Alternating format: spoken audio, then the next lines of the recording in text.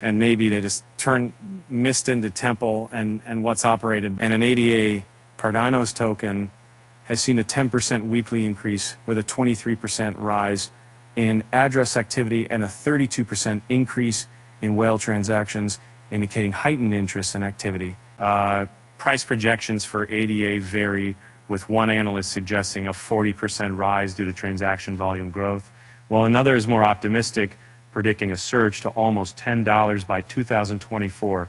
The most ambitious prediction comes from a user who believes ADA could reach $30, buoyed by Cardano's active development community and global inflation, potentially driving the crypto market cap to $10 trillion within the decade.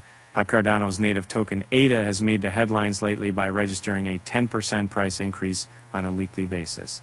Besides that, address activity involving the coin has jumped by 23% in the past three weeks, while whale transactions have spiked 32% for the same period.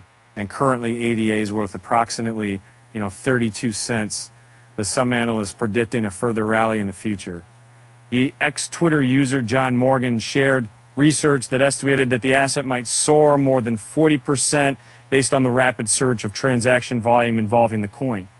Another analyst using the handle Ali was more bullish, believing ADA has a chance to skyrocket to almost $10 by the end of 2024. The most optimistic forecast came from the ex-user Lucid, who claimed Cardano had the most active development community of all other projects for October 2023 the analyst thinks that global inflation could act as a catalyst for the cryptocurrency market and push its capitalization to $10 trillion within the decade, while ADA could explode to the astonishing $30.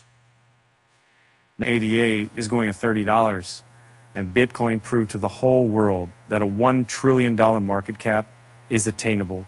Even Ethereum, with all its issues, hit $500 billion with inflation, the crypto market at it, there's created only 9,000 to billion dollars young men.